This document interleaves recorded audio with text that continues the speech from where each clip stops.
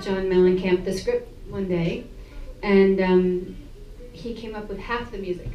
So that, and then Leon Redbone recorded the that signature song, so that the cast could sing it throughout the film. And then when I finally showed him the movie, the band put the the rest of the soundtrack together in about 36 hours.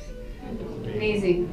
Amazing. That's true talent. Yeah. Very true talent. This whole movie is favors. I was gonna say, I was gonna say, why do I feel like Tom Hanks? yeah, favor. and speaking of Tom Hanks, Yeah. that must have been fun to It was great. reunite with Tom. Yeah, great. He's he's just incredible. He came. Uh, he he worked for one day, and um, at the end of his day, like, he gathered the crew together and he said, "Well, I know we've gotten to know each other really well in the last ten hours, but thank you for being here for my friend Meg, and um, you know helping her for this first experience." So he just flew in and sat in his little honey wagon, which is like a tin can, all day and did whatever I asked. Fantastic, fantastic. Well, I guess the first question I have was, was this fun for you? Was this fun? Because I know other directors, you know, say it's like it's it's a job, it's a process, but it seems like you had fun doing this. Yes. I mean, the best, uh, really the best part, which is, you know, I've done something like, I don't know, 37 movies, but I never knew what everybody else was doing. Right. I just did it, and I was so involved with myself. But, um, so this book was It's a not great. bad. It's not bad. Don't feel guilty. I mean, I kind of knew. But this was great because you're whispering around with these incredible people. Andrew Dunn, who is the cinematographer, Yes, Wonderful. he all of a sudden you're looking at light in a whole new way. Or you talk to Ron Bokar, who was our sound engineer, and he gets to talk to you about what really makes silence. No, not just plain silence. You put in a little sound of a bug, and then it sounds even more silent. And then get to whisper with John Mellencamp or Sam Shepard or my son. My son's in the film. He plays Marcus. Excellent. And, um, So it was great to, to hear his process too. Mhm, mhm. All these artists come Right, together in this right. art form, and, and that's what's fun. Right. So I think most people know that the movie was inspired based on this wonderful, well-known book, this Pulitzer Prize-winning book, The Human Comedy, written in 1943, so a while ago. He, William Saroyan wrote it originally as a screenplay, Did he? and Louis B. Mayer promised him that he could direct it. Then he turned in a 225-page screenplay, which is about double the size of uh, Yeah, as that's a long it three-hour movie, right? And so Mayer said, "Forget it." And so Saroyan stomped off and novelized it, and ultimately won an Academy Award for Best um, Story. Wow, Yeah. that's amazing. Yeah, because it was made, obviously. Yeah, Mickey, a uh, movie. right. mhm. So, but what was important about the story, the book, for you? Why, why this? I mean, you could have chosen a lot of books. You could have chosen script of anywhere. Why was this important for your first film? Well, for, for me, it's a simple story about very complicated things. And I thought that that would have a filmic equivalent given my, my inexperience, that we could tell this story simply because the story was so strong.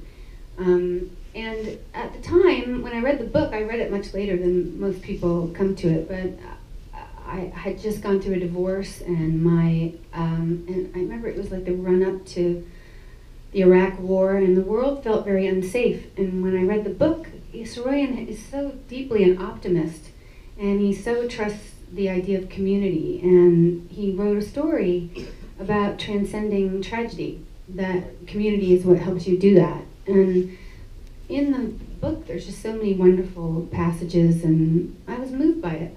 You know, and this was such a such a simple story. These three telegrams that this boy delivers, and he becomes a man in the process. Well, comedy's hard. um, and I, I think what, what, what, why I'm lucky is you have to have your head down for so long and pay so much attention for so long when you're a director. And for an actor, I'm in and out in three months. But these, these ideas are, are interesting to me. You know, the idea that no one, there's everyone in the main characters in this film have to say yes to all things. They have to say yes to something they don't want. That's a sustaining, that was sustaining my attention. And I love being a mother, and I um, this is a story. The book was dedicated to Saroyan's mother, and I felt also that that that's my that's what I'm most familiar with, frankly, and that's the position I took as a filmmaker, and um, I know that better than romantic comedy, so that's the answer. How'd you feel directing yourself? Well, it's terrible, Charlotte. Thank you.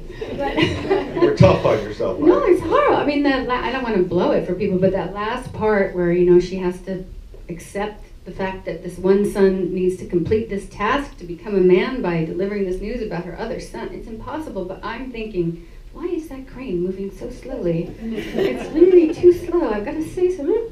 This is terrible. You know, I mean, it was such a split experience. You have to be, as an actor, so subjective, and as a director, so objective. It's very hard. I'll never do it again. Interesting. Well, he walked in to our. Yeah, she, oh. w- she would like to know about the actor, the, the little actor who played U- Ulysses, the young actor. He walked in as a joke. His parents are, are like work at the I don't want to get this wrong, like the space pro- propulsion laboratory or something. And he came in a, on a complete lark, and he is such an he's such a beyond a natural. And very shortly, I learned to say nothing because it would ruin whatever instinct that he had, which was always great. He really wanted to be good. He and he I would say watch James Dean, look at these movies, read this book. He would do everything and come back and and kind of report about it. It was so important to him. He was so moving, and I think for the crew to watch this boy who really was in this 23 day shoot that we had, he became different by the end. You know, the very last scene for him is the very last thing we shot with him. Him coming up the, and there's a little jog up of the camera, which where you really see that he's looking down at his mom. He's grown that much. We all felt that about him. So really fortunate to find somebody that serious and that emotional and he moved me too because he would come up to me not look at me for direction. He'd come up and stand and kind of lean down and just put his ear like this so i could give him a little Yeah. insight into something or whatever he needed. He's a very dear person. And I like fell in love with him in a serious way. And when we were cutting the movie, I had him. You know, sometimes the editor on those down days, he just put little Ulysses' face up on the screen so I could just look. At and then he became my screensaver. And then he came to New York with his mom to visit me for lunch one day, and um, he was five years old at the time. So it's a couple months later, and I realized halfway through the lunch he didn't remember who I was. go, yeah. And on the set, you know, he realized I like to do like three takes. That's ultimately what I like three or four takes. And so he but got so savvy that about halfway through the movie, he had this one line where he says, "Homer's going to work." He goes, "Homer's going to work. Homer's going to work. Homer's going to work." so cute. So all the kids were great. Well, it's interesting. A couple of nights ago, we had another young director here who directed three young boys in a movie uh, called Yosemite, and she was given a piece of advice about working with actors, working with children actors, and, and I think it was from Ira Sachs, who's a well-known uh, director in New York. He said, "Never say action when you're directing children." What I'm leading to is, did you get any advice, or did you seek out any advice from directors you maybe have worked with? Uh, Well, yes, I did in general. But for the bo- the kids, I read what, about what Hal Roach did with the Little Rascals, Oh, yeah. which was basically give them very little information Mhm. and then always a sense of play. And then they're not acting. They're the most natural actors ever. You just don't want to get in the way. And um, and they believe. They just believe. You know, he believed. He a little piece of him running at the very beginning. I wish that I could watch it over and over again on a loop, which I have. I just think he's so adorable. But that was it. I um, Hal Roach gave them very. He kept a sense of play, and um, sometimes would shout lines at them, and they would just repeat like that. But you just if you kept it fun, and we tried to do that for them, they they didn't get actory. Yeah. Right. Were there any other things that you were given advice to for as a first-time director, or were there anything that it was given to you and you said, no, that's not me, that's not going to work with me? Well, I thought a lot about how I like to work, and another one of the great things about being a director is that you know every actor works differently. So Sam worked very differently than Hamish, worked very differently than me, and most of the people in the film had never been in a film before. Um, man, I don't remember your question. What was it? But oh, so what I like, and advice. Brad Silberling is here, who I have worked with as a director, and what I like is when we have secrets, and that's what worked with all everybody. Like I like I whisper something to Sam, which was he is a disappointment. This Mr. Spangler is a disappointment, and you go over to whisper to Hamish, playing Spangler. You can't get his approval. There's nothing you can. So you take all the sides, but you're whispering the whole time, and it's so fun that kind of confederacy, right? Yeah. That's great. That's great insight. Uh, you asked how working as a director impacts your work as an actor, and I think profoundly, I, especially in the editing room, I learned it, it's just not important to do things right. It's just not important. It's important to live fully in a moment, and if you're on your mark, great. If you're not, hopefully the, the crew is expert enough to catch it because you want things that are alive. And I'm I'm a very prepared person. I do a lot of intellectualizing about things, and that almost doesn't have a place, in, you know, frankly, or it has a different type of place than I had given it, a different value. Well, that really happens because you're so tired. you just think, oh, it's one less person to worry about, and then you then you're there doing it, and you think it's the dumbest thing you've ever thought of. That's the truth. Yeah.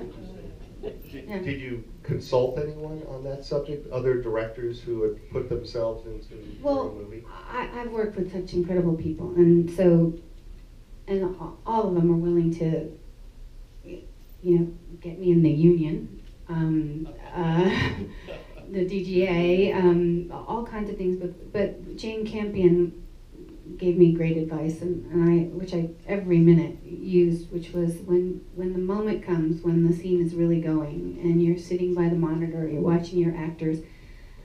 Really that's when you need to be an artist and be an emotional conduit. What you know as an actor, use it then, because then you can tell the truth about what's happening. Because everything see, is fairly predictable on a movie. Usually, two plus two equals four. The light is going to go there. The sound is going to be like that. Weather is going to be changing.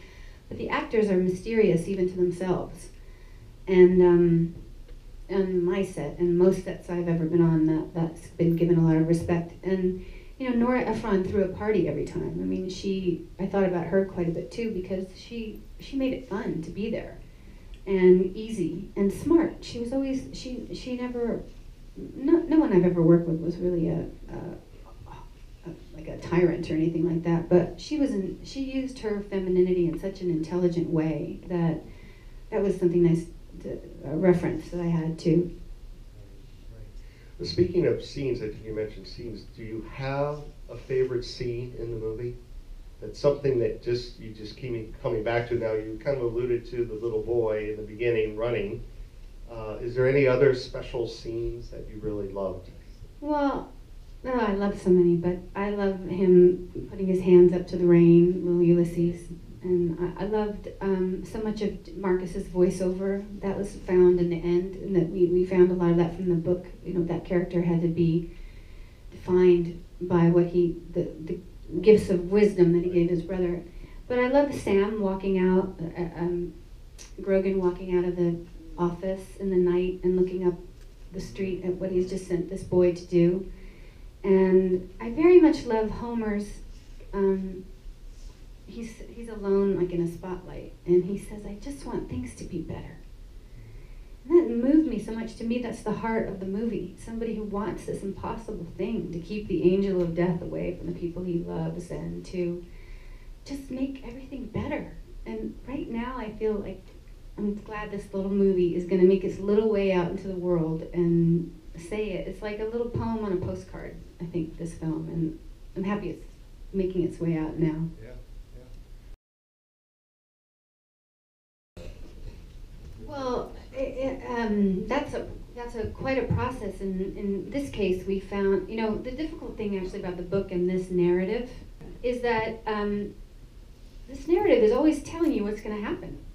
So you you always know kind of what's going to happen. I mean, we have songs even in the movie. When I get to heaven, I mean, there's all this pointing toward the inevitable, and teasing the poetry out of that was the real effort in the editing room.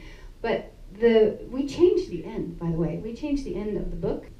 It's a very different ending, but we, we I felt that this was the stronger dramatic ending, and so we took that license. Yes. Uh, Hi, um, could you talk a little bit about the young man who played Homer? Some great scenes with him, very sensitive and tender scenes, um, and he's obviously quite young. I, I don't really know how old he really is, just could you address him a little bit? He he is from Kansas City. He'd been in LA for maybe four or five months. He'd done a little teeny part in a horror movie, and he he was trying to he's trying to decide. He was 15. He turned 16 on the day we wrapped, and he was like this perfect autumn day. You know, you look this way and it's summer, and you look this way and it's fall, and he, his voice was changed. I mean, you mentioned the shots, and, and many times in the movie when I was watching it, um, you know, it was like a photographic shot. You know, it was like a photographer's eye capturing that moment. And I believe you are a photographer. And so, how um, involved were you with the cinematographer? You know, lining up shots. The, And, it's the greatest thing. I mean, we shot listed everything, but then finding it, you know, that that was such a that's such a deep pleasure of mine to go around uh, a set and figure out what the pictures are. And we, we looked a lot at the American realist painters and Right. photographers, and um, we had a real design about what happened in the telegraph office. We started out with all those wide lenses and the big lights, and it, and it just telescoped down and down and down into a pool of light uh, around these two, this man passing this wisdom on to this boy. And that was all design, and it's so fun. It's so fun to do that. Yeah. Excellent. That was just another gift of this whole thing that you know he we were lucky to get him because he'd just come from Martin Scorsese's set. he was doing Really? vinyl. He Oh, wow. shot the pilot of Vinyl, which is a '70s sort of rock and roll Right, piece. right. And then he came, took the train down to Virginia and shot with us. But you know, he's a real worker. He, you know, he's put in his 10,000 hours bef- by the time he was like 11. I mean, he he'd be making movies with his friends at my house, and they'd all come out of one door and the other dressed as, you know, the movie is like cereal box superheroes, and someone is the Trix Easter Bunny, the Trix Bunny, and Captain Crunch, and they're fighting, and and then it was this natural thing. All of a sudden, we were on a set, and there was a real AD and real costumes, and it didn't feel much different than what uh, the kind of sense of play that he, he and I have always had together. But he's such a pro. It was, it was so fun. I think he's beautiful in the movie. About the kids, the young boys you see often in the movie, in and out of the movie, dressed up. Uh, kind of reminded me of kind of a Peter Pan thing going on there. Like these boys kind of. They were the sprites, right? Yeah. They they were always to me. They really weren't in the script. They were they were kids I kept around because I felt like they were the measure of Homer always had from his own Right. innocence and the loss of it. And and and I love that. I think that says so much about the period that the kids just ran so wildly all over the town. I love yes. it. Yes. This became much, much more, um, much less verbal, and and I think what what what, what I really like about the film and what I ended up pretty much cultivating in the uh, editing room was the spareness of everything, the simpleness of the music, the simplicity of the words. You know, you, there's a maxim in filmmaking which is show don't tell, and the pictures did so much work that we didn't need that, that dialogue became not necessary and the actors you know it was the actors it's the simplicity of the story it's the light and it's the music and 23 days and It's magic, as you said. It's just magic. And, and that element of acting, you know, that's the real sort of unknown of what you're going to get. And Right, hope and- of any directors to bring it all together. the, and it was really the other truth is that there were so so many of the kids are kids I know and they're friends of people I've met on the vineyard that and the boys those three soldiers who are so adorable they are are in a comedy troupe with my son Jack. They have this troupe called Sasquatch, and so I knew most of the It was like a family affair. I mean, Yeah. and which makes perfect sense on your first outing. yeah. So, can we can we maybe get a little knowledge of your next project? Because I read that you are going to be doing something new. Maybe Yeah, I am. I mean, us we'll see what happens, Yeah. but um, uh, yeah, is it like does it jinx it? No? Well, we're supposedly, right now, we're working titles hired um, Delia Ephron to write a romantic comedy that I'll direct about the publishing world. So, romantic comedy, here I come. There you go. There you go. And but you're not going to be in it. No. Yeah. Yeah. Excellent job.